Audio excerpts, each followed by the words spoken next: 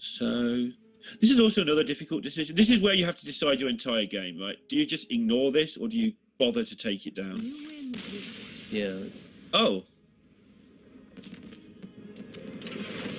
Did something go wrong? yeah, something must have gone wrong there because In no universe do you concede in that spot as maybe they picked up a card Reno that wasn't Mage. displayed in their deck, something like that. Yeah, maybe the submission of the deck list did not conform to the deck that we saw on the screen. If one card was off,